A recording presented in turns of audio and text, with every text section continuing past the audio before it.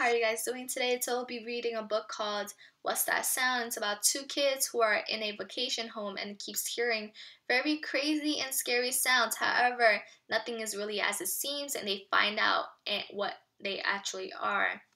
But before we begin, we'll be going over some vocabulary. This is the book that we're reading. What's that sound? And our first word would be the word spooky.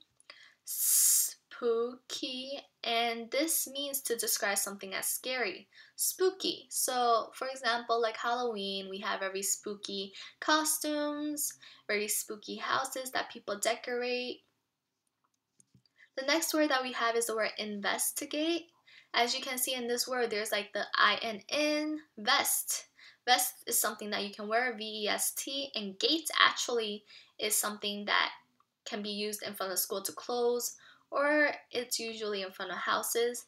So in this one word, investigate, there's actually three different words inside. But what we're going to focus on is only the word investigate, which means to look at something closely and try to find out facts. As you can see, there's a detective here investigating. And there's another detective here trying to find out a question. It doesn't even have to be a detective, it can be someone that's just looking for answers. The last word that we'll be going over is the word shed. As you can see, there's a digraph of sh, and shed means something house-like built for storage or shelter. This is somewhat of a shed, and usually it's not really a big house. It's just a little tiny house that can let you put things for gardening or any type of tools, anything you want. It can even be things that you don't really use, so you want to put it in shed. All right, and the book that we'll be reading today is called What's That Sound? Written by Mary Lawrence, illustrated by Lynn Adams. Here we are, said Dad, our home for two whole weeks. I looked at my brother Tim. Isn't this place great? I think it's spooky, he whispered. So this is Tim, right? We don't know her name yet, but we'll find out. Shh, Dad said. Listen, what do you hear? Not much, I told him. Exactly, he said. Peace and quiet at last. Dad loves the country, said Mom. Me too, I said. Come on, Tim, let's explore. No way, he said. He lowered his voice. This place looks haunted. So he's really scared. The little boy is really scared. Don't be silly, I said. There's no such thing as ghosts. You know that. No, I don't, Tim said. But he came with me anyway. About two feet. Then he had a fit. Amy, what's that noise? he asked. I heard it too, a high, squeaky sound. Bats! Tim shrieked. I'm out of here! So this, we found out that her name is actually Amy, and they're brothers and sisters. Tim, Amy. And then Tim says, We are using our ears to hear. Everything we hear is a sound. Sound is a type of energy. As you can see, while we're reading, we'll learn a little more about what they are going through and some science facts. Hold on, I said. I pointed up.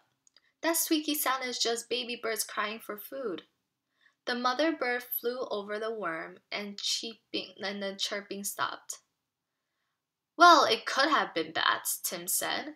So they found out that sound was not bats, it's actually birds. During dinner that night, we heard a high, tinkly sound. Tim's eyebrows shot up. That's just wind chimes, I told him. It's so quiet here, Dad said. We can even hear that tiny little sound. Isn't that great? Sounds can be soft or loud. Sounds can have a high pitch or a high, a low pitch. Soft, loud, low, high. Why does Dad think it's so quiet here? Tim asked later. I hear a million scary noises. Name one, I said. That creepy tapping noise. So it sounds like this. He whispered. He scrunched down under the covers. He's really scared. The sound was coming from the window. I got up to investigate. Remember that was one of our words? Investigate?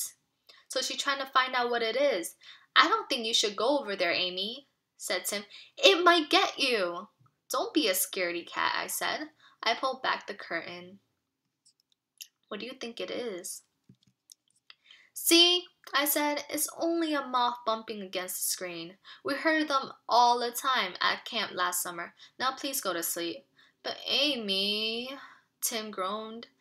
I was it was starting to rain. Raindrops make a nice peaceful sound, I said. That will make you fall asleep. After we hear the same sound a few times, we get to know what it is. Our ears and our brain work together. Amy's ears heard that sound before, and her brain said that's a mouth sound. So sometimes the, the sounds that we hear, you already know what it is before you actually see it because your brain have heard the sound before. I was dozing off when I heard a deep rumbling noise. Thunder. The window rattled. Something is trying to get in, Tim yelled. He was halfway out of the bed, so in his mind, as you can see the dot dot dots, he thinks it's a monster trying to get in. But the sister already knew that it was the sound of thunder. That's just the window shaking, I said. Sound waves from the wind from the thunder move through the air and makes things vibrate. Vibrate? asked Tim. Move back and forth, I said. I had it in science. Touch your throat like this and buzz like a bee. So let's try it together. We're going to buzz and touch our throat. Zzz. Do you hear do you feel that vibrating in your on your hand? That's vibration. Wow, said Tim. If I felt something moving. Vibrating, I said. Vibrations cause sound waves. Soft sounds make little waves, and loud sounds make big waves, said Tim. That's cool. Sound vibrations go right into your ear. They hit your eardrum, right? Which vibrates. Then three tiny bones vibrate too. A liquid behind the bones vibrate. Little nerves send electric messages to your brain and you hear. But I still say this place is full of scary noises, Tim said. You know what? I said. You make more noise than all the noises in this place put together. Can we please go to sleep? So the sister is getting impatient because she's really tired. But Tim is still scared. Amy, Tim said, Can I sleep next to you? He grabbed his blankets and made a bed on the floor before I could say a word. I said okay anyway. Maybe now I could get some sleep. I was starting to have a wonderful dream when Tim grabbed my foot. Amy, wake up, he whispered. Something's moving on the stairs. It's making a creaking sound. I didn't hear anything. Just cover your ears and go to sleep, I said. Then we heard something smash downstairs. This time I jumped out of bed. We better go see what happened, I said. Tim shook his head. Okay, I'll go myself. I told him. Wait, Tim said. I'm coming. So over here it says, you can muffle sounds by covering your ears. Very loud sounds can damage your hearing. That's why some people use ear defenders to block sounds. Even traffic noise and loud music can hurt your hearing. Not all at once, but little by little all the time. Which is why sometimes when you listen to something, you shouldn't try to listen to it very loud, or else you're going to hurt your hearing and it will get worse. I put my finger on my lips, Tim nodded, and we crept downstairs. A bolt of lightning flashed outside, then came a loud crash of thunder. She's actually he's actually pulling on her sister's hair. Do you see that? Cuz he's so scared. Then Tim took my hand and held on tight. The kitchen door was moving. Uh uh, what do you think it is? Whew! There was Dad holding a fat sandwich. Hope I didn't scare you, he said. Who, us? said Tim. We looked at each other. My grumbling stomach was keeping me up, Dad said. Sorry I woke you. I dropped a plate. Are you guys hungry? No thanks, I said. We're too tired to eat. So they found out that noise wasn't anyone scary, it was just their dad getting food and he dropped a plate. We went back to upstairs. Tim finally fell asleep, and so did I. Even the storm couldn't keep us awake. They got so tired that they just kept sleeping because they had to. Dad's grumbling stomach was loud. Most other body sounds are hard to hear. A stethoscope makes them louder. So sometimes the doctor uses this and this is how they hear your heartbeat. Stethoscope. Ah, the peace and quiet, Dad said again at breakfast. Mom smiled. Tim doesn't think it's quiet here. I teased. He thinks every little sound is a ghost. No, I don't, said Tim. Last night I did, but that's because I didn't know what was making those sounds. I'm okay now, I think. Good, I said. Then no more talking about haunted houses, no more worrying about ghosts or monsters. Deal? Deal, said Tim. And he really meant it. He didn't mention ghosts even once that day. So now that Tim is actually not that scared anymore, right? Around sunset, we went out and caught fireflies. Suddenly, we heard a low mowing sound. Ooh, ah. Ooh, what's that sound? I cried. It was like nothing I'd ever heard before. I couldn't help it. I was scared. So this time Amy became scared. But Tim was became a little more brave, right? He said, Let's go find out, Tim shouted and took off across the field. I ran after him. Come back, I yelled. The moaning seemed to come be coming from an old shed. Remember what I said a shed is? It's like a little tiny house. It got louder as we got closer. Sounds actually get louder as we get closer because the sound waves are strongest there because that's where they start. And the further we go away from a sound, the weaker it'll be, and then we can't hear them anymore. Maybe we should get out of here, I said. I really truly didn't believe in ghosts, but if there were any, they sound like this.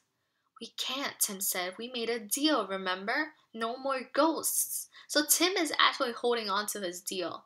Dear, I mean his his deal. And um Amy is actually very scared now. So they actually changed spots. I couldn't believe what Tim did then. He went inside. No, Tim, I cried. Even though my heart was pounding, I went in after him. I had to save him from. Oh, what do you guys think it is? Is it a monster or a ghost? A friendly old man with a tuba. Guess you two heard me practicing, eh? He said. Mrs. Hubbard can't stand the noise, but I've got to get ready for the big parade tomorrow. I'm the only tuba they've got. So large white tube lower sound. And if it's small like this, like a flute, it's small, narrow, and there's a higher sound. Were you scared? Tim asked me later. Scared, I said, of a tuba? Give me a break. What about you? I wasn't scared at all, he said. Not, not much anyway. We both started a laugh. The next day at the parade, Tim and I waved to Mr. Hubbard, Who's that? Dad shouted over the music. Just a friendly ghost. Tim shouted back. Mrs. Hubbard was at the parade too. She didn't seem to mind the tuba one bit. Then the wind blew her hair back, and we discovered why. She had cotton in her ears. So let's look around to see who has cotton in their ears. That would be Mrs. Hubbard. Not him, not him, not him, not not them. So it has to be her. She's Mrs. Tuba. Tuber. Hubbard, sorry. and that's the end of the story. And now we have times for some questions. The first question is What is the setting of the story? Setting is where the story takes place. Where were they? Were they at A, a vacation house, B. Haunted house. Or C. At a friend's house. Give you some time to figure that out.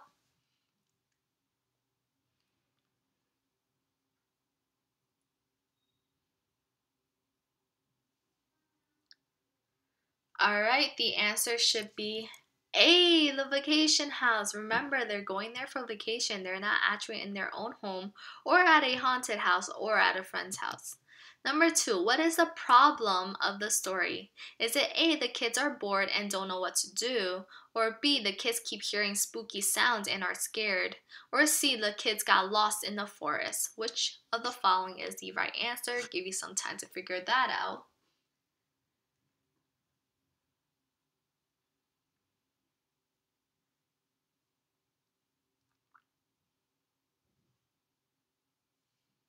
All right, let's go over it. The answer should be B. The kids keep hearing spooky sounds and are scared. They keep hearing things, but they find out what it actually is and they become not scared anymore.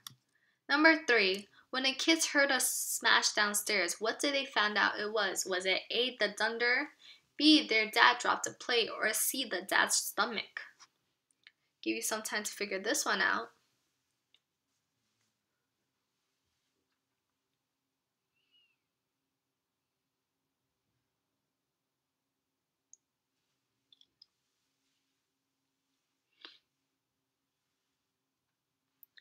Alright, the answer should be B. Their dad dropped a plate.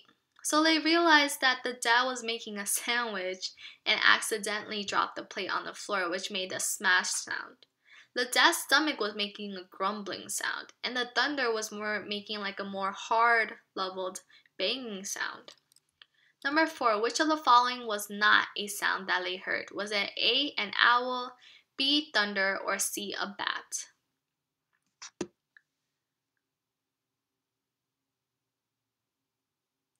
This is kind of tricky because it's talking about the sound, okay? It's not really talking about what it actually be- was, but the sound. Which one did they not hear?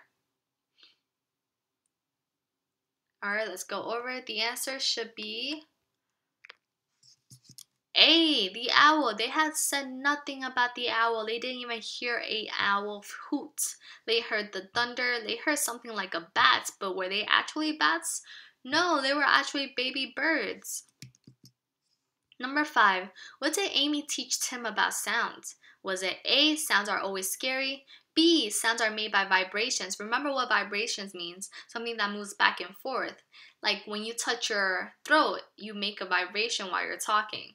And C, sounds are always loud. Which one of the following is the correct answer? Give you some time to think about that.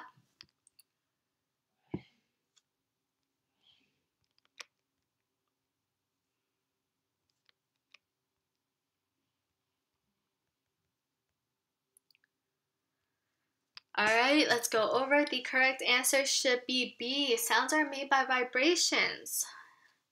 And whenever you talk and you touch your throat, it's actually making a vibration also. Or even when the phone is vibrating, that is a vibration.